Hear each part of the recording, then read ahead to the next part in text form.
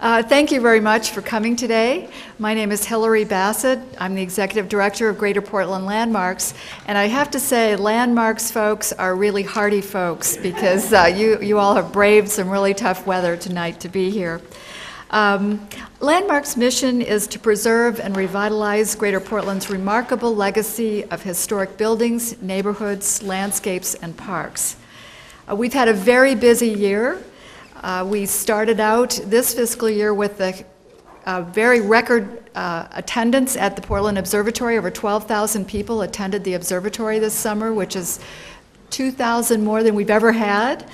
Uh, We have been working on putting together a new website. We've got some other educational programs in the works that you'll be hearing about. And of course, development is heating up in Portland, so we've been in City Hall quite a bit. So I think our theme this evening, the entrepreneurs, is very appropriate to this time in Portland's history. Having said that, I'd like to call your attention to a, a sheet that's on your chair. Tomorrow night is a very important public hearing about the Portland Company uh, complex. The redevelopment is being considered by the Portland City Council tomorrow night. So those of you who are Portland residents, we encourage you to participate and to encourage the preservation of Building 1. I'd also like to invite any of you who are not yet members of Greater Portland Landmarks to become a member. Landmarks does all kinds of programming focused on historic buildings and architecture, tours and programs at the Portland Observatory, research, surveys, all kinds of things related to historic architecture, and we'd love to have you. I'd also like to thank some key players here. The Portland Public Library has provided the space to us as partners. To CTN Channel 5, which is our community TV station. This is going to be aired on the community TV, so you can watch it again uh, to catch all the, the good information. And then also to please consider a donation to cover the costs of putting on the lecture series this year.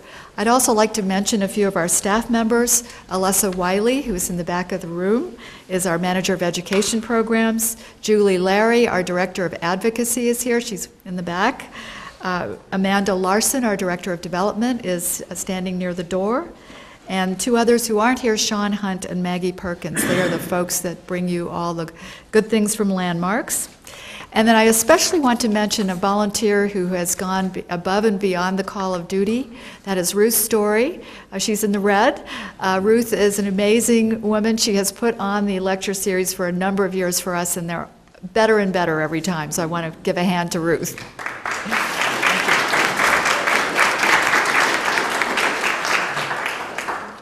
Now, our speaker tonight is Lincoln Paine. Lincoln is a maritime historian. He's the author of five books, and he's done more than 50 articles, reviews, and lectures on maritime history. And I just want to show you his most recent book, just to show that Lincoln is able to take on amazing and wonderful tasks like the entire history of maritime history or, and civilization. So this is of the world and civilization.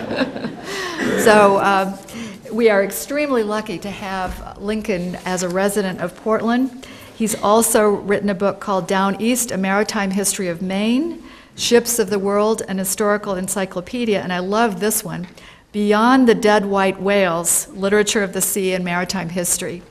Uh, He is, uh, was former guest curator of the Norman Morse Collection of ocean liner materials at the Osher Map Library, and he serves on the board of the Maine Maritime Museum and the, and the Telling Room, a nonprofit writing center for children. So it's with great pleasure to introduce Lincoln Paine, and Lincoln happens to be my neighbor as well, so that's even better. so welcome, Lincoln.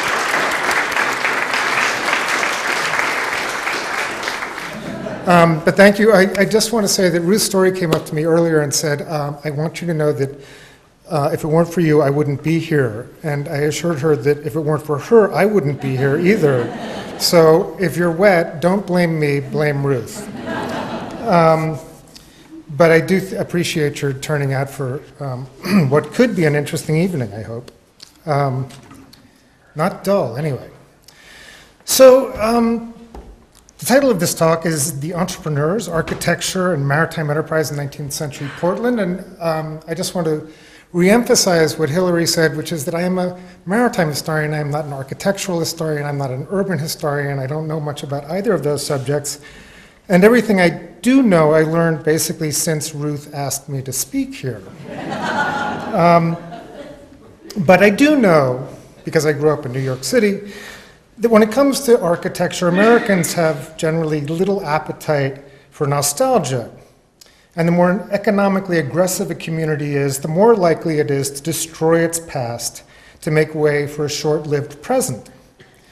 And this is why so many lavish homes in places like Beverly Hills are bought as teardowns, regardless of the effort and usually enormous expense required to build them. So new entrepreneurs want to make their own imprint. But chances are great to excellent that theirs will not be a lasting impression because their successors are no more likely to honor their memory than they were to honor the memory of those who came before them. And as I said, no place illustrates this more sharply than New York, and especially Manhattan, which was settled first by Europeans in 1625, but where the oldest building only dates to 1765. So the first 160 years of Anglo Dutch settlement in Manhattan have been completely obliterated. Now, when it comes to architecture, relative poverty can be a great preservative. If you make no money, you can't afford to uh, build new things, and you have to husband your meager sources, resources carefully.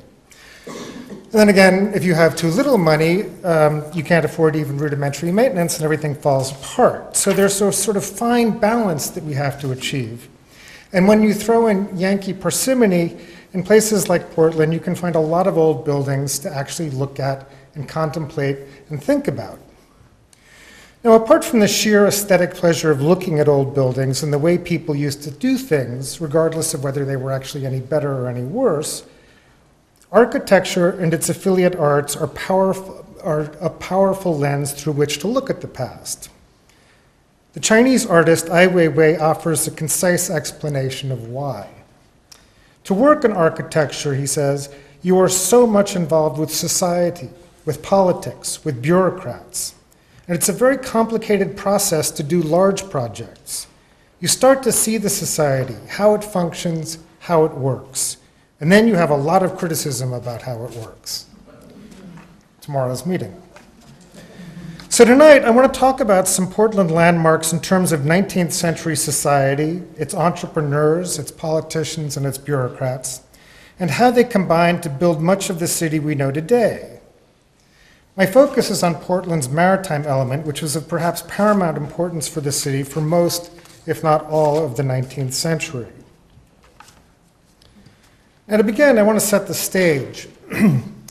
when the English first settled on the peninsula, which the indigenous Aucocisco called Machigonne in 1633, um, the harbor and the river were really invaluable for their access to white pine trees, which the English desperately needed for masts for their ships, for the Royal Navy um, particularly during their um, long run of wars, uh, especially with the Dutch at the mid century, but basically for most of the 1600s, and actually for the 1700s and, and into the first 15 years or so of the 1800s.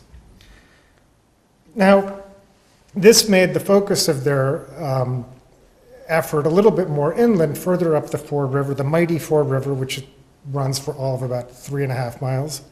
I canoed it this summer. It was a great undertaking. Um, and so they built this house uh, for the, the guy in charge of the mast trade um, called the Tate House, because his name was Tate. And um, this was built in 1750, and it's the oldest building, I understand, in Portland. Again, I'm not an architectural historian, so I just I read that somewhere and I accept it as true. Now, although there were other towns further along the coast, Portland was the most important in what is now Maine, thanks to its deep water port and its ready access to the sea. Now, the downside of this ready access to the sea through all of those islands, particularly in an age when ships uh, were generally smaller and, and had a shallower draft than they do now, is that it's very easy to attack. And during the American Revolution, Portland took the brunt of the reprisals for an attack on a British ship in Machias, of all places, when the crew of HMS Canceaux laid waste to the city, helped and abetted by looters um, from inland towns, who had nothing to do with the British, they just didn't happen to like the townies. So um, this is Portland in about 1776, and there are a couple of these maps. These were made by Rosemary Mosher in 2001 for an exhibit at the Osher Map Library. There's a whole sequence of them, and I picked out a couple of them. But you can see this is an overlay of what Portland looked like in 1776, um, superimposed on what it looks like as of 2001. And you can see a lot of stuff has been filled in. And they've, um, over the last, however many years that is, 200 and something years, um, and actually going back all the way to the 1600s, uh, we've done a really great job of mucking up what was a beautiful natural peninsula. Um, and I don't hear anybody complaining about, you know, Greater Portland earth marks. But anyway, there it is. Um, we'll see this fill in gradually um, over the course of the evening. Now, the first, um, Congress's first public works pro- project was to complete construction of Portland Headlight. And in case any of you who've never actually been to Portland before this evening, this is Portland Headlight, which was completed in 1791. And the results were really phenomenal because, by some accounts, as late as 1787, there was not a ship owned in town, according to one writer. But seven years later, there were 80. And another in- initiative that helped increase Portland's access to the hinterland was the opening of Tukey's Bridge in 1796, which was paid for by subscription and which saved about three miles going around Back Cove, which was a good deal bigger than it is now. And somebody pointed out that it's three miles around Back Cove, but the savings in distance is actually a little longer than that um, because you actually have to go all the way to the Fore, Fore River side. Now, um, Tukey's Bridge was named after a guy named Tukey who was the toll keeper, um, and he had a tavern on the Portland side of the bridge. And they actually abolished the toll, and he kept collecting it anyway for another couple of decades until they finally said, okay, enough's enough, um, you know, you're paid off. So, anyway, um, there was another bridge built in 1806. This is um, Deering's Bridge, uh, which basically runs across um, a little spit of land, um, uh, which was an outlet from Deering Pond in Deering Oaks Park. And essentially, what that pond is now is the Hannaford parking lot. And that road is Preble Street, but it's completely obliterated. So, um, and while we're at it, I'll just point out on these maps, because I got this laser thing and I've always wanted to use it. Um, this is Tukey's Bridge here, which is 1796. The Deering Bridge um, is right about here. Um, there was a Vaughan Bridge here, which was the precursor to Route 1, I guess. Um, then, uh, somewhat later in the 1800s, there was a bridge um, uh, what year was it? 1828. Um, there was a bridge to South Portland, and that was uh, added onto in the 1850s. It, it, they uh, put a train track down across it, at which point it was known as the Gridiron of Death. Um, then it was the Million Dollar Bridge, and now it's the many, many million dollar bridge. Um, and the reason I bring up all these bridges is because they're very important um, for two reasons. One, obviously, they hinder navigation, which is a problem if you happen to be uh, if you own boats or shipyards up in these waters. Um, but at the same time, they also facilitate communication with the in, in, interior and the hinterland, and so they provide a boost to trade. And I think it's in those, in that connection, that we have to think about bridges. Now, any discussion of the residential architecture of 19th century Portland has to begin with the house built by the merchant Hugh McLellan on State and High Streets, now known as the McLellan Sweat House and part of the museum. And it makes sense chronologically because the three story mansion was built in 1800, 1801.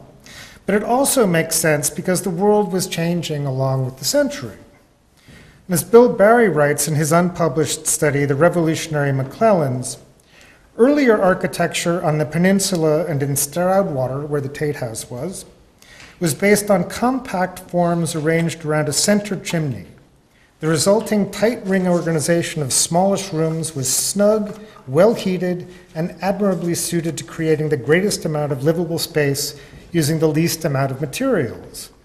This form also reflected the inescapable struggle for survival in a hostile environment.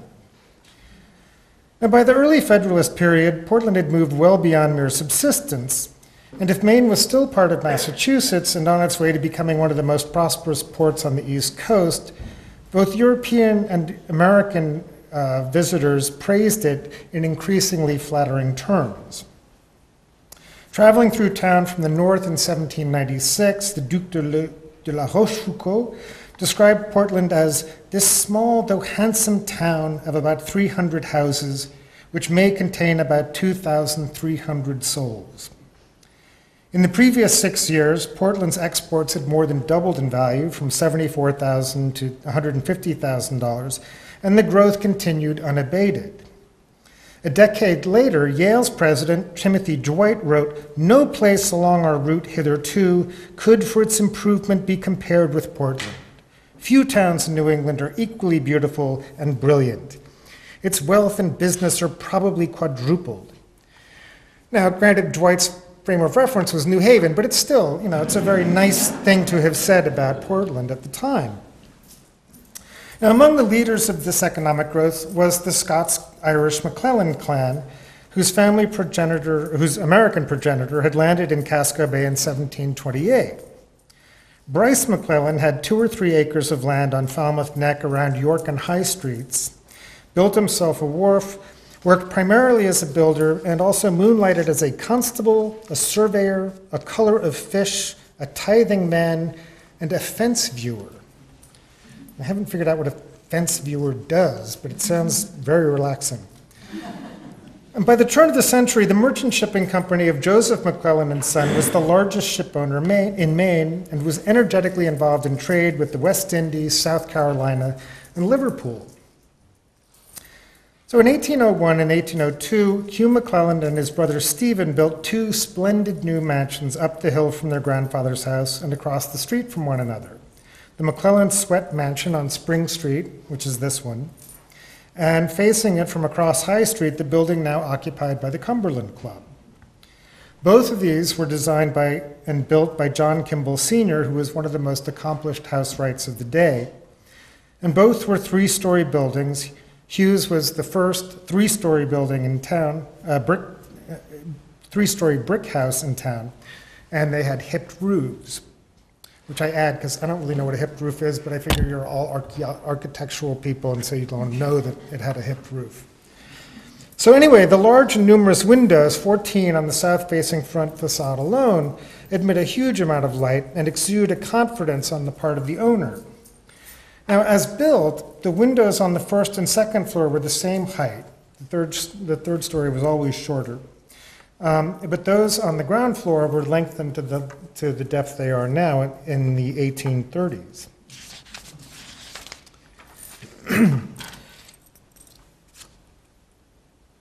that is the um, Portland Club. I, oh, no, I'm sorry, it's the Cumberland Club. My mistake. The Portland Club is coming up.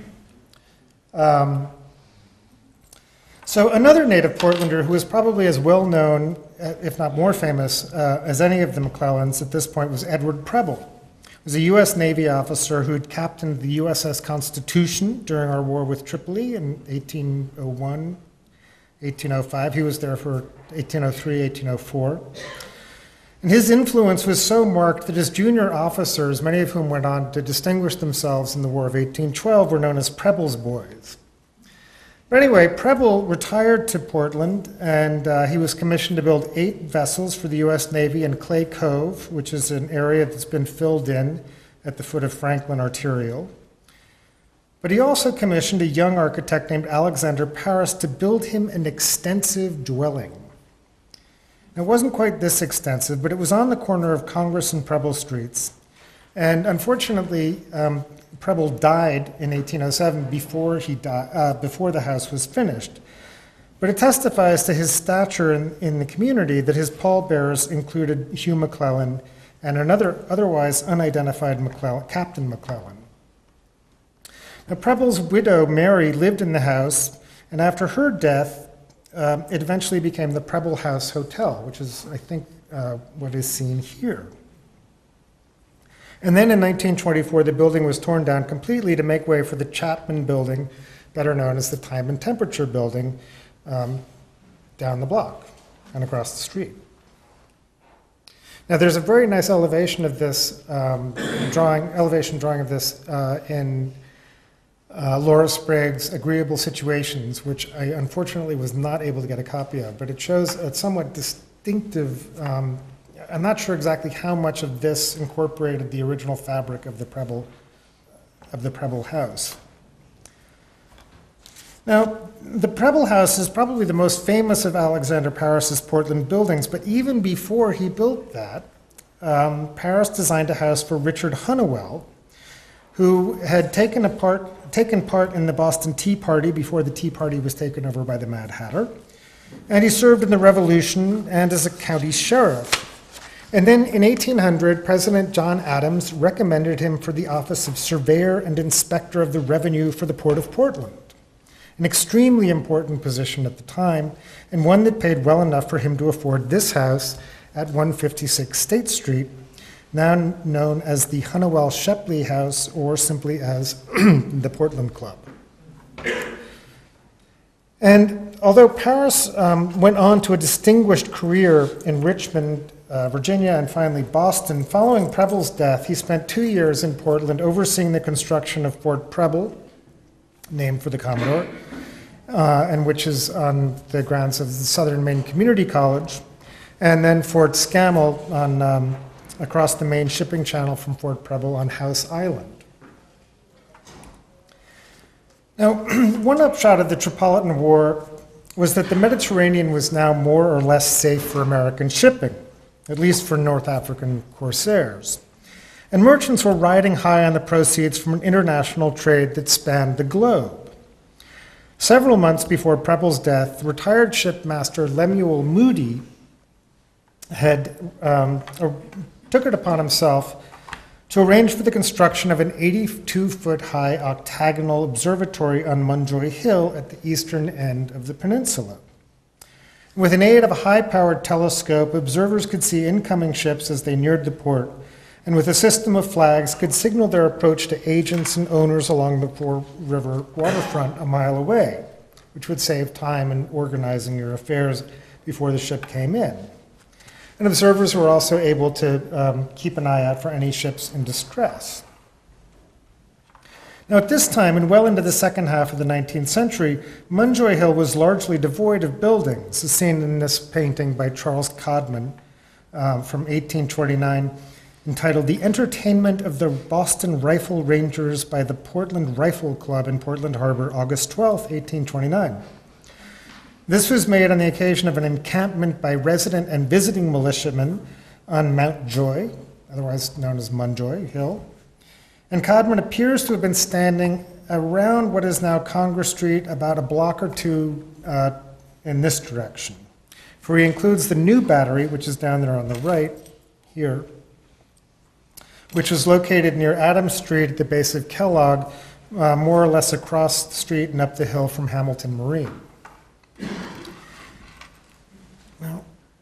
There's another um, picture of the observatory, probably from the 19th century. Now, by this time, 1807, Portland was the sixth largest port in the States. Merchants like the McLellans had profited from the country's neutrality during the Napoleonic War between France and Britain since the 1790s. However, notwithstanding Americans' insistence that they were neutrals and had a right to trade what and where they chose, both the English and the French disagreed, and U.S. ships were routinely subject to arrest, their goods were subject to confiscation, and their sailors were uh, routinely dragged into involuntary service, mostly in the Royal Navy. Now, merchants tended to view this as the price of doing business, but smarting over the country's inability to protect its citizens, and despite the merchants' strenuous objections, Thomas Jefferson imposed a catastrophic embargo that threw an estimated 55,000 people out of work nationwide and caused a, nation, a, a national depression. To give you a sense of the scale of the impact of this, uh, import duties received in Portland crashed from $342,000 in 1806 to less than $38,000 the next year. And by the end of 1807, 11 commercial houses, including Joseph McLellan and Son, had gone bust. And the McLellan family's fall from grace was slow, not that slow, but inexorable. Fortunately for us, however, John Kimball Sr.'s construction proved far more durable than the McLellan fortune. Stephen sold his house in 1810, and Hugh was forced to transfer his to creditors in 1815. They, in turn, sold it to the Portland Bank, which, ironically enough, Hugh McLellan and a cousin had founded. And two years later, the McLellan house was purchased by Captain Asa Clapp, one of the most distinguished Mainers of his day, and somebody who whose family essentially took up where the, the uh, McLellans left off.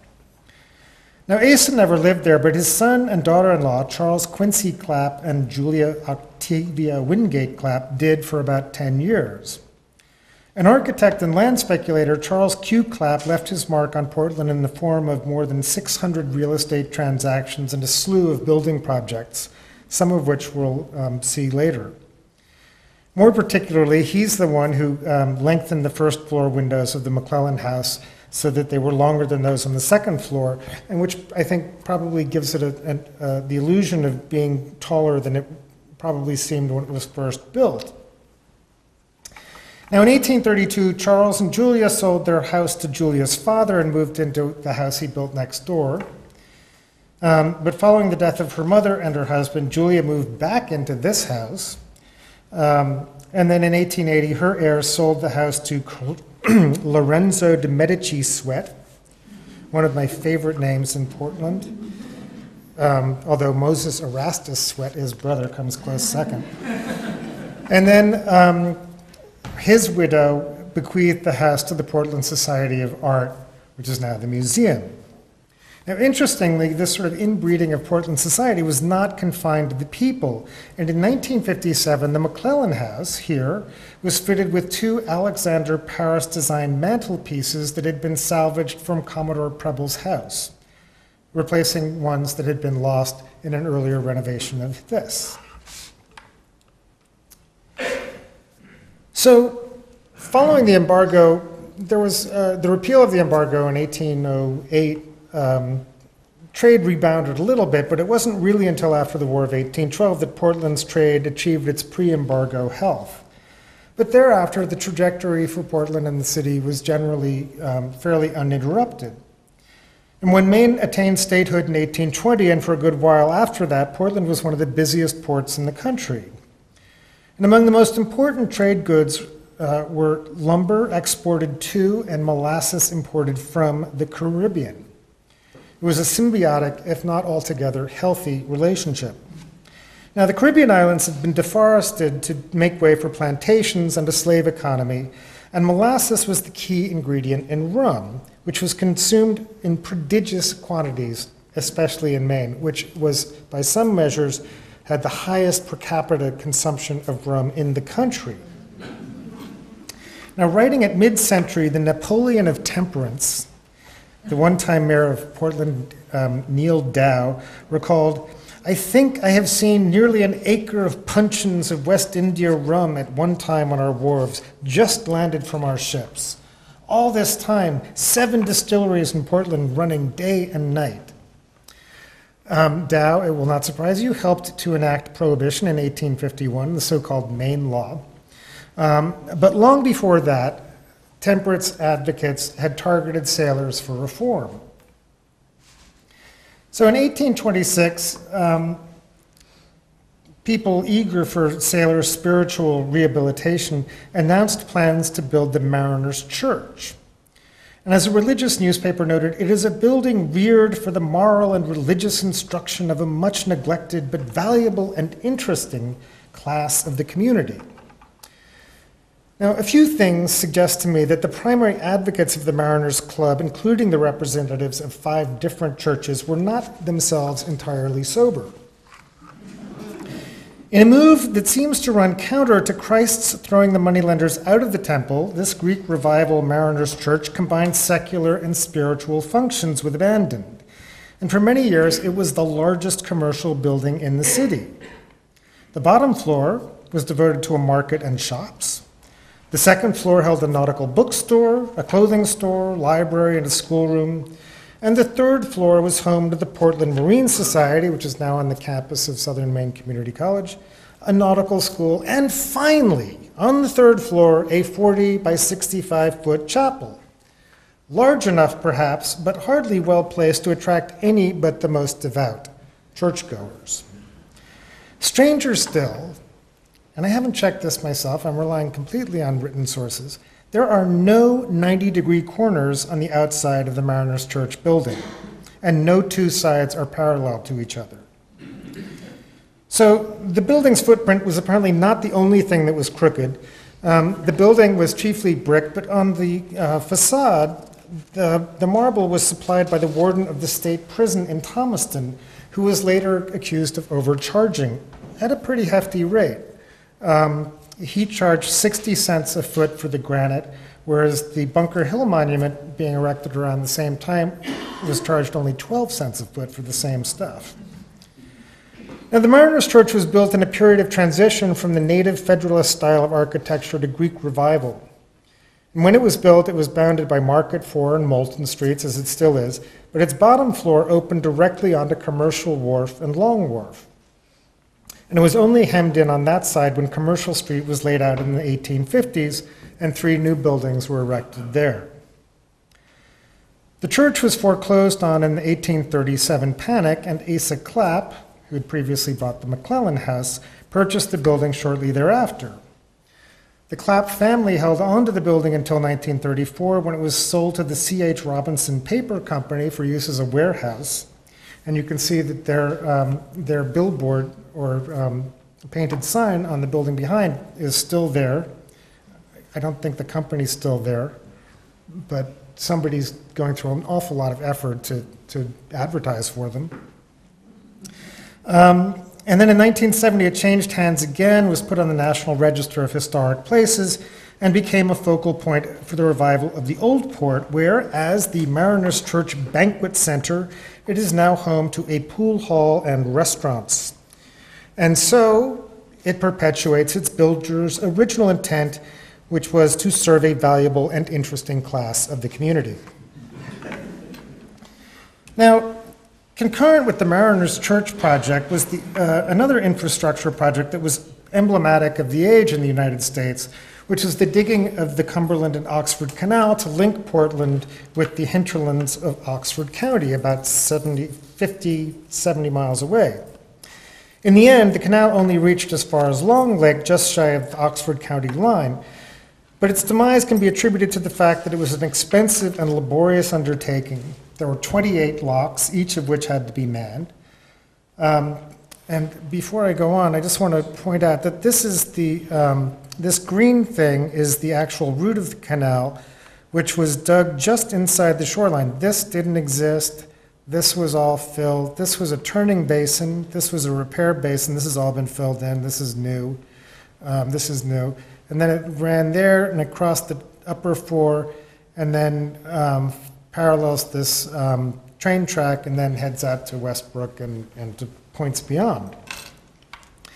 Now, um, one way of financing a lot of stuff was to use um, the lottery, um, which we've heard a lot about recently.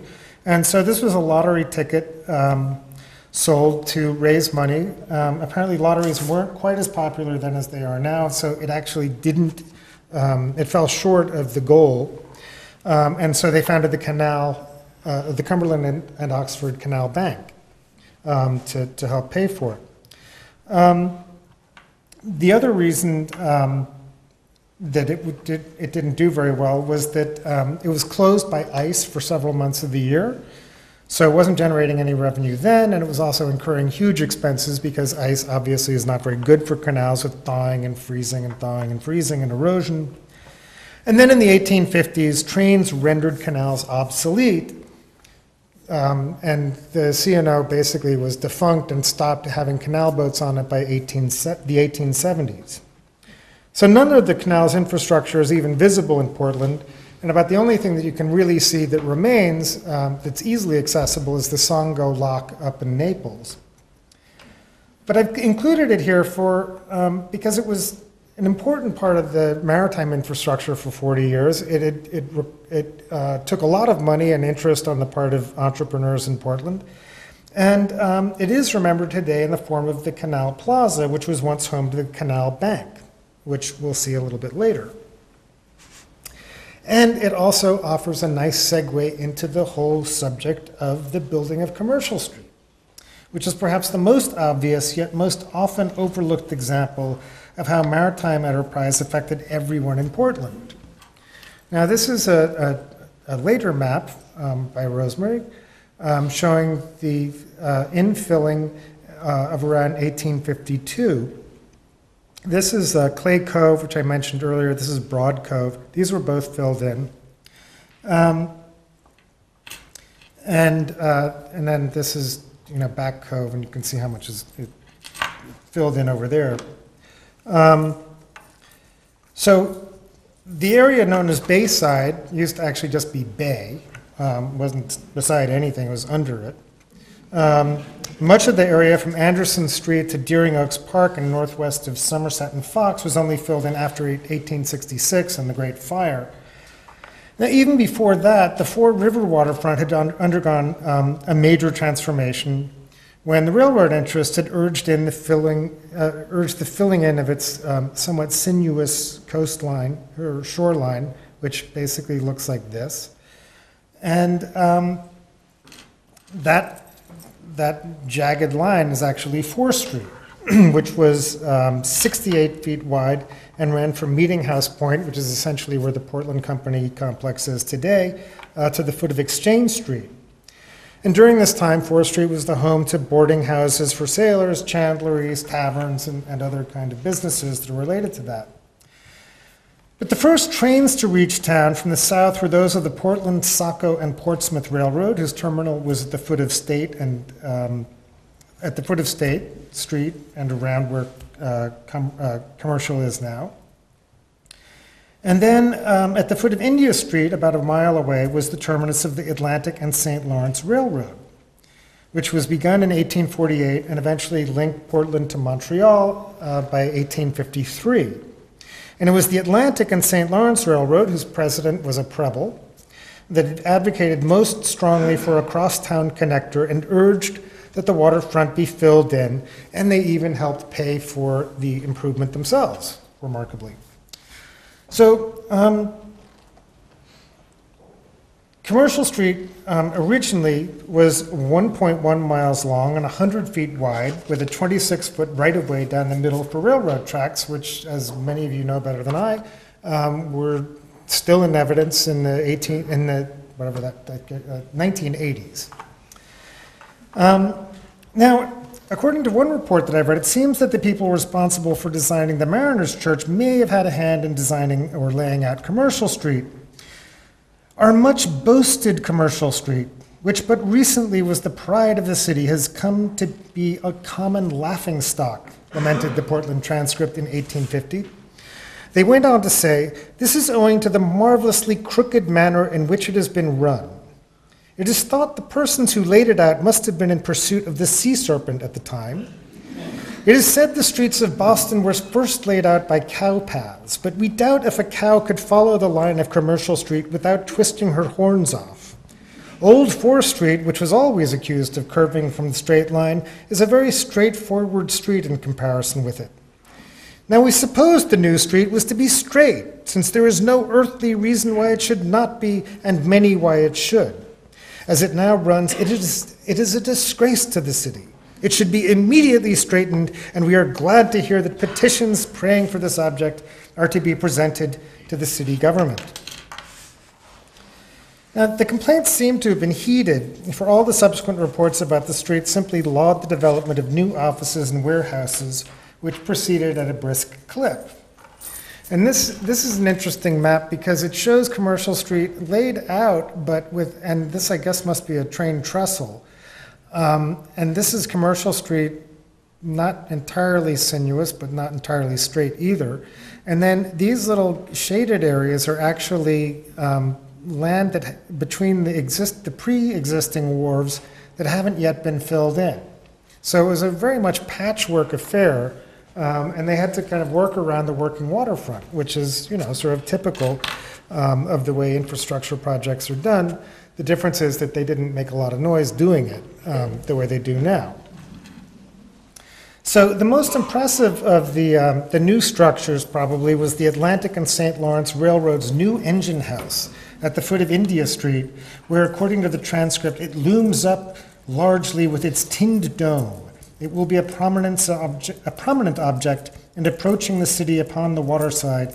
It will be completed in January 1950, 1854.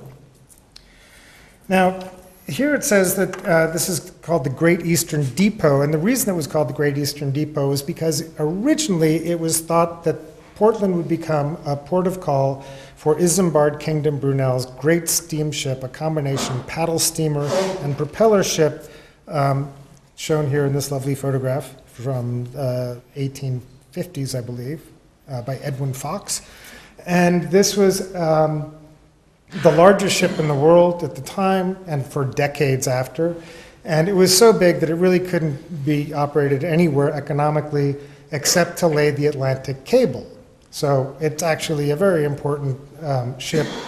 And you can still see the, the, the remains of the, what was intended to be the Great Eastern Pier along the promenade um, just past the Portland complex on the water. Now, Commercial Street's also home to the Thomas Block, which was built just before the Civil War, and which I still I think is still one of the most alluring um, uh, buildings in the city. And interestingly, it was financed by a group of seven merchants who named it for Elias Thomas, uh, who was not one of them. Um, but he was a wholesale grocer, and in acknowledgement of their gesture, he donated the clock that's now in the in the um, there. Um, I think he meant, they meant to write clock, or maybe he was supposed to donate a block. I don't know. There seems to be a typo there somewhere. Um, anyway, um, it seems to follow a sort of gentle arc along the street, but in fact, it's actually eight distinct three bay units. Um, that, and there's just the illusion of that curve. And for the first 110 years, um, the building featured double hung six over six windows that it gave it a really nice sort of refinement um, that was lost to renovations in the 1970s when these were replaced with the single pane windows that give it a sort of vacant expression um, today. And if you go through the files of the Greater Portland Landmarks, you will see a wonderful letter addressing this very issue from Mary Lou Sprague uh, from about 1983, I think, saying, you know, you really could have done a better job with the windows, and the architect going, oh no, it looks great, really. Um, and plus, it would be really expensive, although he doesn't say that. Um, now, another one of the great buildings um, that was erected on the, along the new commercial street um, was this um, J.B. Brown's Sugar House from about 1854 55. Um, and Brown was, again, one of 19, uh, 19th century Portland's most successful entrepreneurs. And his crowning achievement, um, commercial achievement, was this molasses refinery called the Portland Sugar House. It was eight stories high. And within a decade of building Brown's Wharf, there were a thousand people employed here. Um, there was a lot of rum being drunk in Portland at the time. And um, they were not just employed in the molasses trade, but um, in all aspects of the West Indies trade and, and Brown's trade with other parts of the world. And unfortunately, this magnificent structure, which probably would have come down anyway at some point, um, it was lost in 1866 during the Great Fire. Now, another one of, of uh, Brown's great contributions, um, he was a patron of architecture, art, and learning. Um, and to his more lasting credit, a pioneer in making the West End a fashionable place to live, because why would anybody want to live there otherwise? Um, when he decided to build a house there in the 1850s, the area boasted a cemetery and a collection of shacks known as Hogville. And I won't say anything, I live on the East End. We were never called Hog Hill, Hogville. Heroin Hill, but not Hogville. Now, Bramhall, Hill had incredible views, better than those today, unless you really like the interstate and the airport and the chicken rendering plant and the oil tanks and all that stuff. But anyway, um, apparently, it was treeless um, back in the 1850s. In any event, Bramhall built uh, or bought a 10 acre parcel bounded by Bowdoin Street, the Western Prom, and Vaughan Street, and about uh, a line somewhere between Carroll and Pine Streets. And the architect for this was a guy named Charles Alexander, um, and he called the house simply Bramhall. And it's an Italianate villa, but that's really, we don't know much more about it than that, because as active as Brown was in Portland's commercial and civic life, his house was his castle, and there are virtually no written or visual descriptions of the property or even its contents. Now, he lived here until 1881. His widow lived there for another 20 years. And magnificent though it seems to have been, um, in 1914, some new people uh, broke up the property and tore it down to build, I don't know, John Calvin Stevens houses or something. Anyway, um, you know, it was, it was enough of a draw to attract people um, up the hill from downtown and um, turn it into a more affluent ghetto than Hogville had been. My apologies, Wendell. Um, so now most Portlanders, um, I mean, if you haven't heard of Portland Head Light, you probably haven't heard of the Great Fire. If you have, you probably have heard of this. So anyway, large chunk of downtown was burned. I think 1,800 buildings. Fourth of July fireworks went wrong. So glad we have legal fireworks again, so we can do this all over again. Um, but because of the prevailing winds, which were clearly from the southwest, um, this was the track of the fire. And down here, basically, somewhere in this uh, part, is the um, Portland Sugar House. Um, it went, and then um, most of the property on the south side of Fore Street was saved. Um, most everything else in what's now the old port was destroyed. Um, so you had sort of uh, Thomas House was conspicuously saved, and the Mariners Church was saved as well. But meanwhile, right across the street from the Mariners Church, everything was burned to a crisp. So, um, among the leaders, and this is just, you know, how ghastly things were. Um, this is looking up, I guess, towards the Eastern Prom. And then um, here, looking down from the um, Munjoy Hill, this is Cumberland Avenue, this is Sheridan Street, this is Washington Avenue. This is a pier that used to be out in Back Cove, which has now been buried along with the rest of the fill um, to make way for 295 or something else. Um, so, anyway, um, right across the street, um, was, everything was completely burned down. And so a, um, Charles Quincy Clapp, who we last met um, playing with the windows over at the McLellan House, um, he undertook um, to sort of spearhead the reconstruction of, of downtown. And according to his, his, obituary, and he died only two years later, uh, if that, Clapp supervised the construction of some 10 stores over the almost smoking ruins of those destroyed by the fire all built of durable materials, ornamental to this city, all occupied, and this accomplished within the period of eight months. Now, curiously, the Seamen's Club, this building here, was not one of the more celebrated of Clapp's constructions. And although the Gothic revival movement had been around in the US for a quarter century, this is not the sort of building that Portland's tastemakers had in mind in 1866 67. And according to the Portland transcript, splendid blocks are in contemplation, and iron and glass will take the place of old fashioned wood and brick fronts. And Clapp's three story, three bay brick and wood trim building was not splendid or bricky enough, apparently. But today, the Seamen's Club is, I think, among the most visually distinctive buildings in Portland, um, thanks to its um, large second story Gothic windows with its pointed arches and um, the curved um, wooden ornaments above them, all of which are encompassed in a brick arch. Now, interesting thing about the history of the name of the Seamen's Club, um, which I sort of waltzed into thinking, oh, well, this is a maritime connection, no problem. Um, it's actually a relatively recent name. In its first incarnation, for about a year or two, it was actually occupied by a coffee, tea, and spice business So yes, it is part of the maritime fabric of Portland. But for most of the next 60 years, it was actually um, home to a succession of tailor shops. And um, then it also served for a while around the turn of the century as a restaurant. And then it wasn't until 1942 that it was purchased by the Portland Seamen's Friends Society and became known as the Seamen's Club. And it only lasted as that for 17 years before the, um, the Seamen's Friends Society moved their operations over to the YMCA. And so um, it was vacant for a while, and then it reopened as a restaurant called the Seamen's Club, um, which is, I guess, where everybody knows its name from. And then in the 1990s, it was reopened as Bull Feeney's, um, the name coming from the high school nickname of movie director and Portland native John Ford.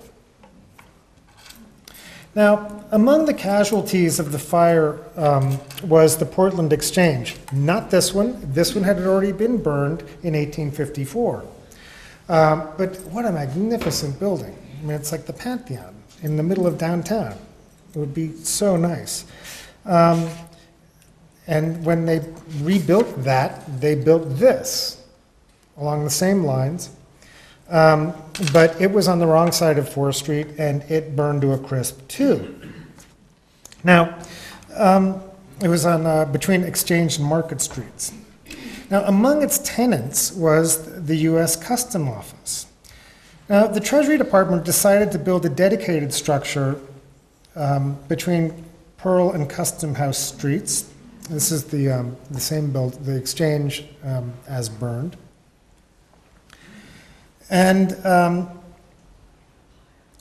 interesting to me, um, particularly, this is the view from the commercial street side, which you actually don't see that often.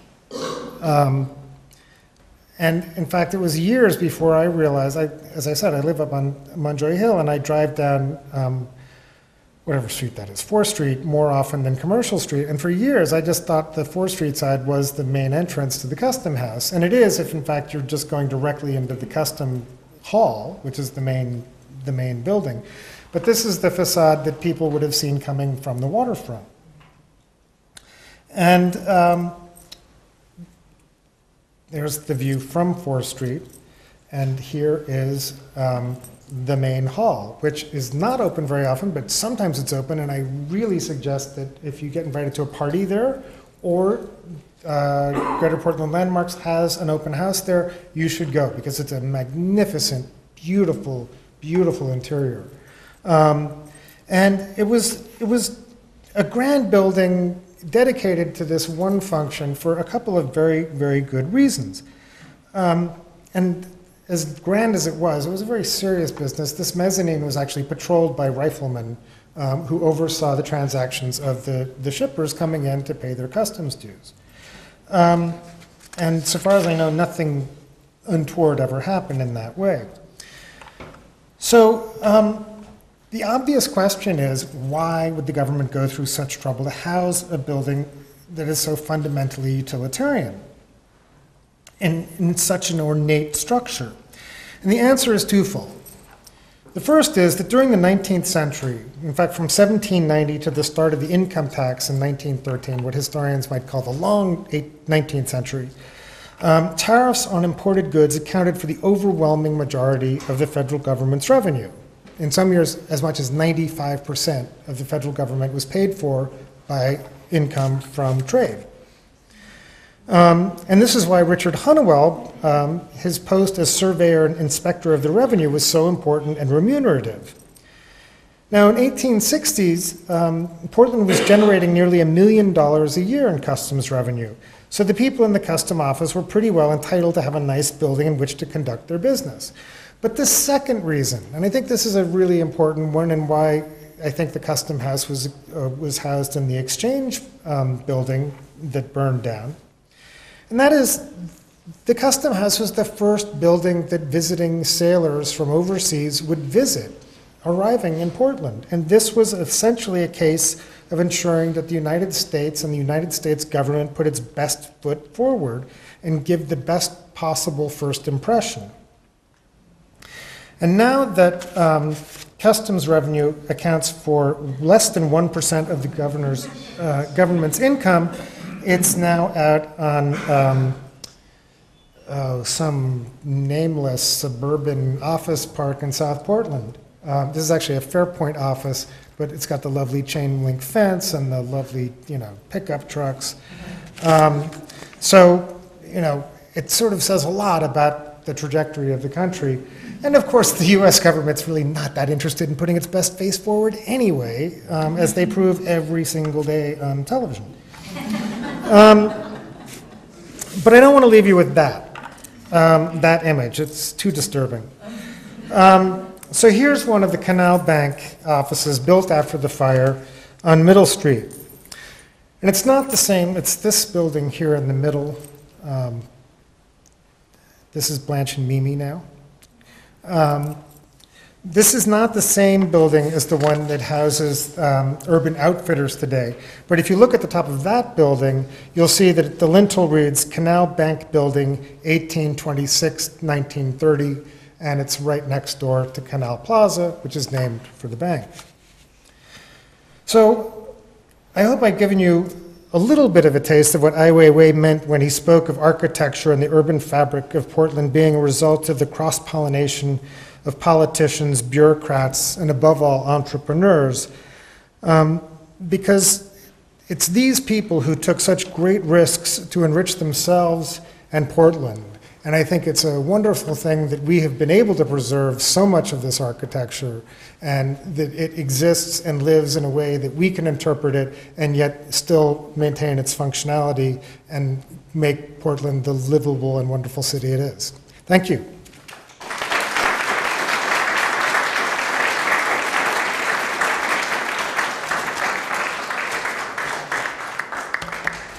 Now, at this point, I'm supposed to say I'm happy to answer any of your questions. And luckily, there are lots of people here who know vastly more about any of this stuff, so I'll just direct you to them if I can't handle it. Uh, But if you do have any questions, I'm happy to play along. on the Preble House. Yes. at Corner of Congress and Preble. The building that the TD Bank is in is actually part of the original Preble House. That's what I've heard, but I never- to Quantico. That's what I've heard, but I never, figured out what I- I've, what, I've never actually figured out what part of it, it, It's obviously different construction. okay, That's a little bit, it's a little tiny bit of the Okay. Preble House. okay. Anybody, anybody else? Anybody, anybody else? Going, going, gone, yes. Well, Thank you again.